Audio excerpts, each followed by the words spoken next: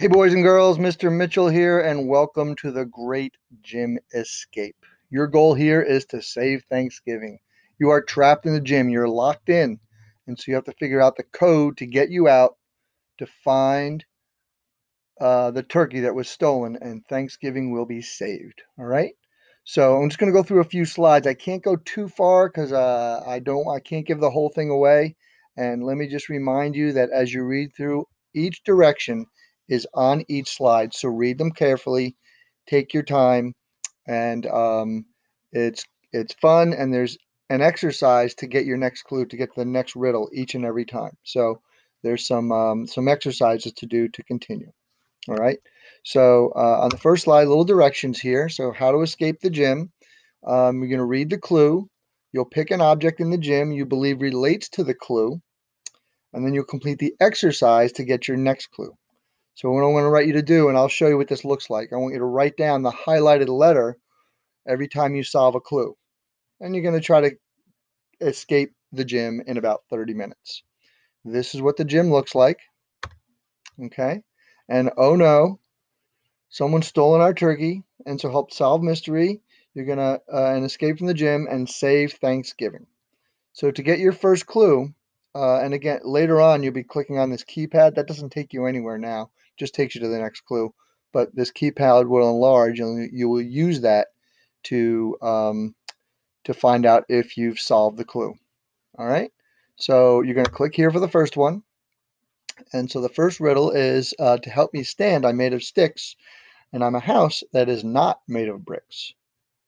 So if you go into the gym, you'll see some pictures of some things that are in the gym. And what kind of house here is not made of sticks? I'm sure most of you already guessed the teepee. If you click on it, it'll tell you nice job. If you click on something else, it's not going to tell you nice job. And so here's another question. After, during the first Thanksgiving, Native Americans lived in these. And if you said something like a boathouse or a condominium, well, that would be incorrect. All right. But if you said something like a teepee, may be a good guess. And that is correct, a teepee. So after this first clue, you'll uh, to get your clue, you've got to complete these exercises. So do your 20 high knees and then get your first clue. And in this case, the A in apple pie is your first clue. And I want you to write down that A on a piece of paper. Write it down somewhere. Okay? It'll show you a summary of all of them at the end also because you're going to use those letters to try to help you figure out a code word to crack the code. And that will take you to the next riddle. Okay? So again, I'm not going to go all the way through it, but it says this carried many pilgrims across the sea when they discovered America and they celebrated with turkey. Actually, they didn't really celebrate with turkey. They probably had pheasants and birds, uh, things like that, chickens, um, and wild. They, they, I heard there was a lot of fish and seafood, um, and of course the harvest of the fall uh, corn and other vegetables that had been grown. So you go back to the gym and try to figure out what they used to get across the pilgrims went in, and that of course would be this ship. All right. So I don't want to continue on.